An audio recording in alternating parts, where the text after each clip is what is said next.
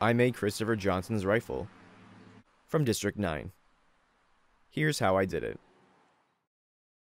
As always, I begin with hand sketching and research.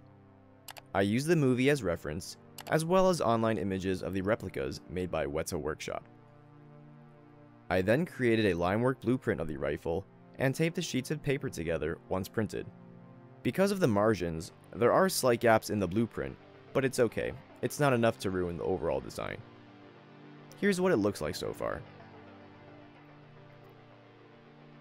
To reinforce the flimsy paper, I added duct tape to the backside. I did this because it's a lot easier to trace out shapes from thicker paper.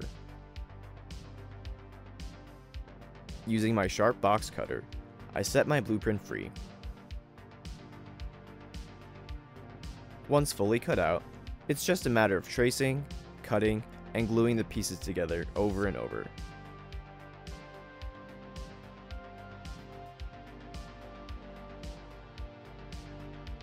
For extra support, I cut out a PVC pipe which will act as the core of the rifle.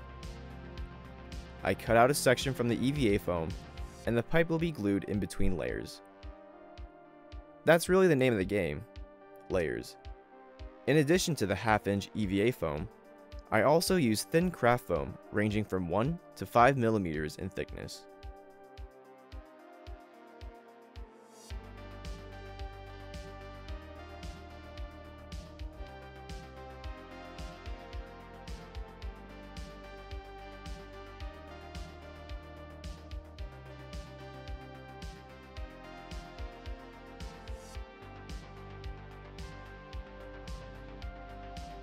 The template I made is just a guide, so there are definitely many spontaneous adjustments that I made during the building process.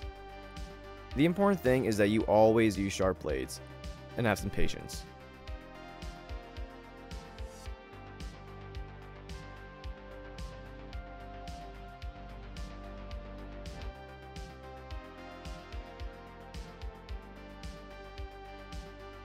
The main body of the rifle is now done, so next we're going to move on to the large canisters.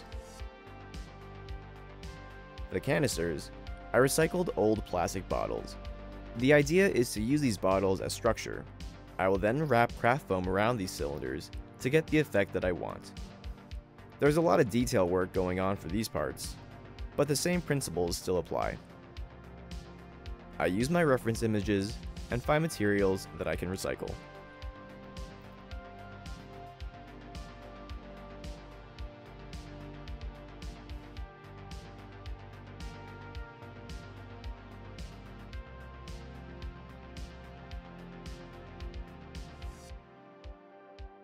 I keep going, and then it's on to the scope. I really have no idea what's going on here. It appears to be some sort of alien targeting system. I, I really don't know how it works.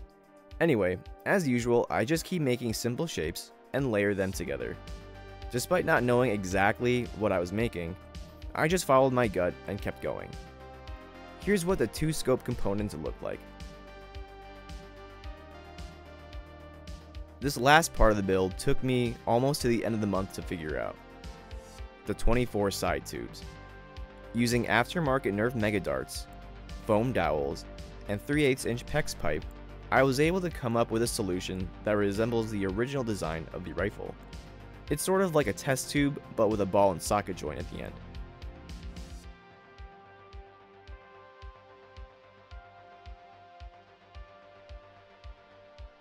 Before painting, I touch up gaps and seams by adding in Kwik Seal. It's an easy way to tidy up some uneven edges to become smoother.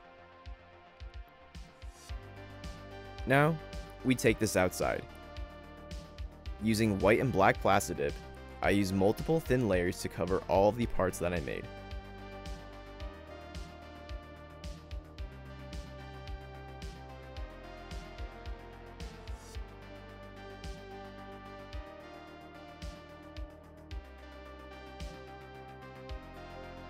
After a few hours, I bring the parts back inside for some acrylic paintwork.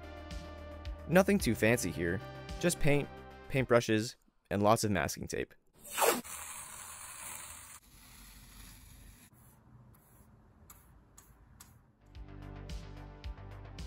After I got the base colors of black, white, and orange, it was time to dirty it up. Using a damp cloth, I wipe away shades of diluted brown and yellow to give the rifle a weathered and worn look. We're almost done here, but we still have some decal work. Using masking tape and a sharp blade, I draw out the designs and very carefully cut them out. I will then use these as stencils as I brush over them with black and white paints. When I peel off the tape, what's left will be my cutouts. It's in some alien language and I have no idea what they mean, but they definitely look cool.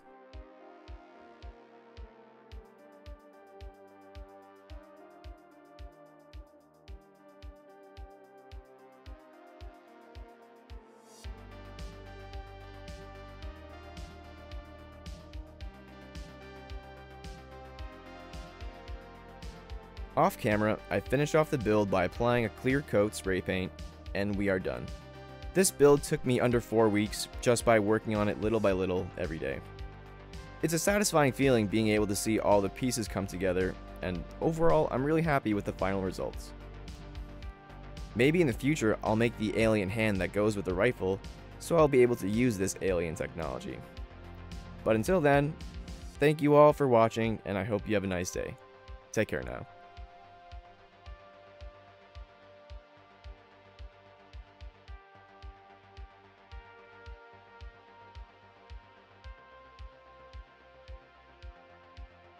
Oh, we have to throw the cat food